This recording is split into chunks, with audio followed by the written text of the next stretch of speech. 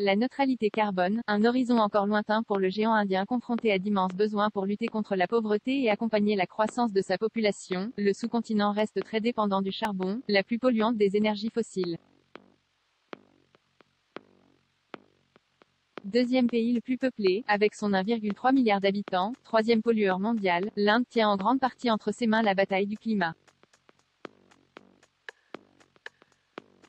Sans effort majeur de sa part, l'impératif de contenir le réchauffement climatique en deçà de 1,5 degré sera impossible à remplir. Le sous-continent est le deuxième producteur de charbon au monde et le troisième consommateur de houille. Il est aussi l'un des plus vulnérables au dérèglement du climat, avec sa chaîne himalayenne soumise à la fonte des glaciers, son littoral, 7517 km, exposé aux cyclones et à la montée des eaux et ses régions semi-désertiques. Les chancelleries occidentales, les États-Unis, le Royaume-Uni, la France, ont exercé ces dernières semaines une pression considérable sur Narendra Modi, le Premier ministre indien, pour le convaincre de déposer avant la COP26 de Glasgow de nouveaux engagements plus ambitieux que ceux qui avaient été formalisés à la COP21, fin 2015. L'Inde s'était alors refusé à fixer une trajectoire de baisse globale de ses émissions de gaz à effet de serre et s'était contenté d'une réduction de 35% de l'intensité carbone de son PIB d'ici à 2030 par rapport à 2005. Cette formule permettait au pays de continuer à développer son économie, mais plus proprement, analyse Ulka Kelkar, directrice climat du World Resources Institute, WRI, pour l'Inde.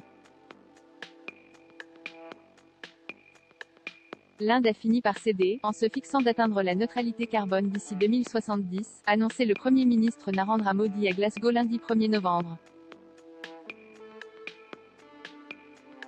Déjà des résultats à Paris en 2015, avait également promis d'augmenter de manière très significative la part des énergies renouvelables dans son mix énergétique, en la portant à 40% de sa capacité électrique d'ici à 2030. Un objectif plus ambitieux que la plupart des pays développés est essentiel, car le secteur énergétique représente à lui seul 74% des émissions de gaz à effet de serre domestiques. Par comparaison, les États-Unis visaient 30% d'énergie renouvelable à l'horizon 2030, l'Union européenne 27%. Enfin, l'Inde devait augmenter sa surface forestière et créer des puits de carbone supplémentaires d'ici à 2030 afin de permettre l'absorption de 2,5 à 3 milliards de tonnes de CO2 supplémentaires. L'Inde est en bonne voie pour réaliser les deux premières promesses faites à Paris. En août 2021, elle a atteint 39,6% de la capacité électrique installée provenant de sources de combustibles non fossiles. Et le pays est parvenu à baisser son intensité carbone du PIB de 25% par rapport à 2005, assure Ulka Kelkar. 64,04%